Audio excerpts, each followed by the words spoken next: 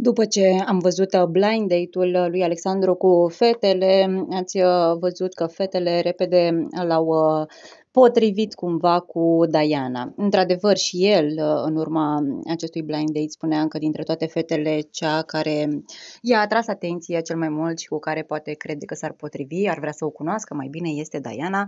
Și după fetele ziceau în live uh, că acesta este tiparul uh, Dianei, că e potrivit pentru aceasta și a intervenit și Diana.